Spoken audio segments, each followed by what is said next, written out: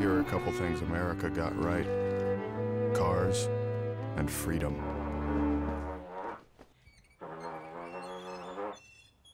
It's four Fs. I didn't know it was gonna come off like that. Pretty sure you did.